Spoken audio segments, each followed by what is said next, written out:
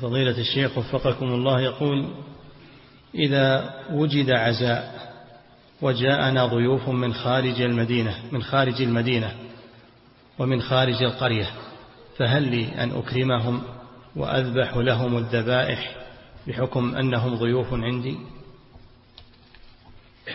أول شيء السفر لأجل التعزية هذا لا أصل له. واليوم ما ما حاجة إلى السفر. اليوم خذ الجوال خذ التلفون وكلمهم كأنك حاضر معهم. ولا حاجة إلى السفر. لكن عاد إذا تكلموا تكلفوا وتجشموا السفر وجو لمك ما في شك أنك تضيفهم. هذه ضيافة ما هي بعزاء هذه ضيافة للقادمين. نعم.